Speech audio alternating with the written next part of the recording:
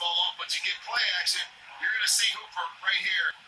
Gets covered up by Marcus Maye for a minute, but Marcus Maye gets caught looking back into the backfield for the quick throw, and Matt Ryan just waits for his tight end to get open.